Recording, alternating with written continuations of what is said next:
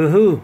Here's my latest project, guys. Uh, I built the Raspberry Pi 3 case uh, for to suit my needs. I wanted to uh, to keep it cool while I'm uh, surfing the internet or whatever else I'm doing, Kodi, playing games, and I put a RAD in there, and I cut both CPUs, and uh, I keep it down to around 76 degrees Fahrenheit.